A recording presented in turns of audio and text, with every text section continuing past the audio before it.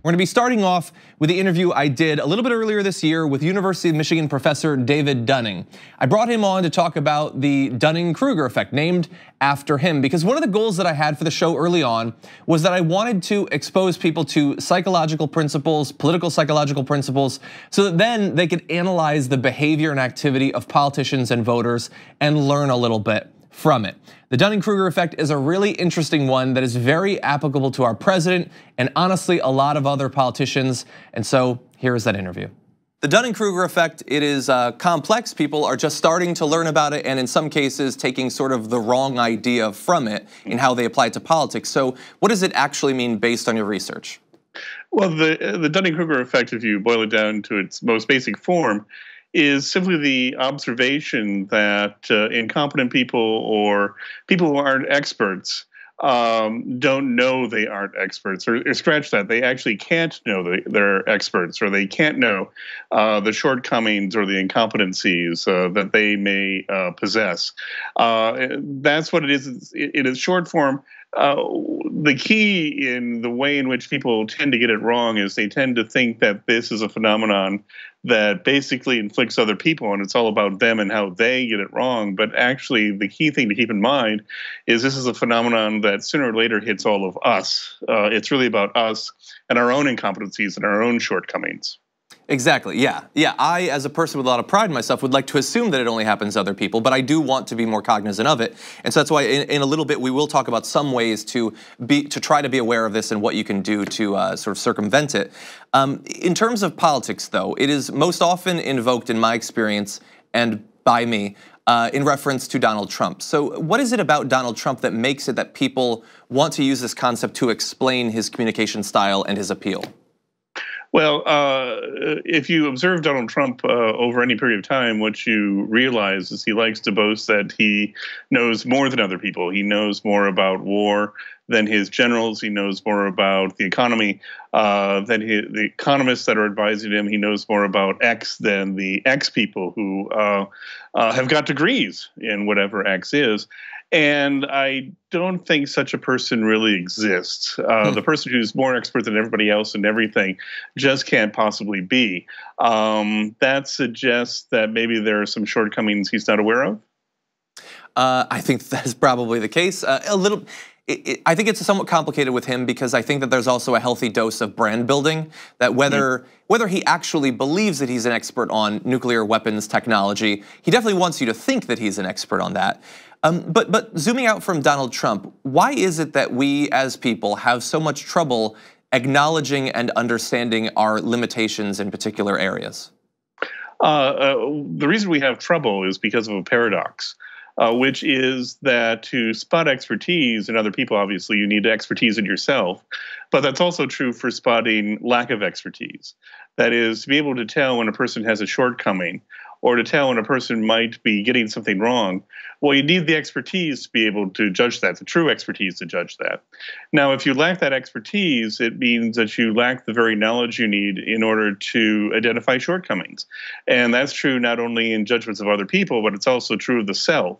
Uh, so ultimately, what that means is people who lack knowledge lack the knowledge to realize they lack the knowledge. If people don't understand that this is even necessarily a thing that exists, how do we try to get people to understand and recognize? Like, how do you get past this problem if people don't even know that it is a problem to, be, to get past? Well, uh, what you need to do is you need to do something perhaps that is done in medicine uh, which is called a competency challenge. That is, you uh, give people a test or you give people a task to do, uh, see, uh, ask them how well they think they're doing on it, and then you show them how well they're actually doing on it. Mm-hmm. And often what you find is people can very easily recognize uh, all of a sudden at that moment what they don't know. So, for example, um, one common exercise uh, that can be done in the laboratory is if you ask people how a, how a helicopter works or how a ballpoint pen works, they'll go, "Yeah, sure, I absolutely know how that works." And then you say, "Okay, show me," mm-hmm. and in detail uh, how a helicopter works, uh, and also, in, uh, by the way, um, like include the detail about how a helicopter moves forward and backward. and uh, people uh, suddenly realize there are holes in their knowledge that they weren't aware of before. So there there are things that you can uh, that you can do, but one of the things that you can do for yourself is often if um, if a question is important enough, do spend some time thinking about how you might be wrong. Uh, often uh, you begin to realize uh, cautions or questions that you wouldn't have been uh, otherwise aware of. Okay, interesting. Okay, so it's a complex process, but but I think that that uh, people can can take from that at least the beginning steps steps of dealing with this. It, it seems like one of the things that you gain through experience in a topic is factual knowledge about it. Um, particularly in politics, people seem to have a difficulty in differentiating between opinions that they hold strongly and things that are objectively true, um, mm-hmm. which might be another uh, psychological problem with humanity that's sort of inherent to it. Uh, is that a part of this problem that people have a difficulty in understanding what is and is not actually a fact? I think that is part of it because you can't know that you're factually wrong if you have a hard time identifying what a fact is. And in fact, what we find in our own work is that if you ask uh, Democrats or Republicans factual questions, not only opinion questions, but factual questions, they'll differ quite wide, wide, wildly in terms of uh, what they construe as facts in the ground when it comes to economics, uh, politics, or the social scene in America. So, mm-hmm. for example, uh, during the Obama administration, a majority of Republicans will say the stock market went down, a majority of uh, Democrats will say it went up um, what happened to the poverty rate the first two years of the Obama administration. Uh, Republicans will say it went up, Democrats will say it went down. Now, um, the truth for one of those questions favors the Democrats. The truth for what the other question favors Republicans, but Republicans and Democrats tend to come to factual beliefs that only favor themselves. Yeah, yeah, and I've uh, I've actually taken a couple of those sorts of online tests about basic historical knowledge, and when you get the results and realize how you've been wrong, that's a humbling experience. Mm. Uh, it makes you realize what a what a you know a walking primate you are. I guess uh, that we still have these issues. So um, I want to ask you another question. I assume a little bit of this is going to be probably not as grounded in your research, but but I am curious about some of the implications. I, I wonder, politicians and members of the media.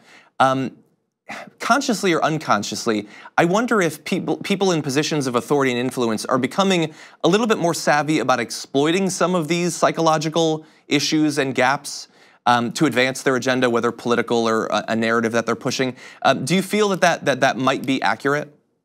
Well, I, I think uh, experts uh, uh, in dealing with people have always been somewhat aware of this. Um, mm-hmm.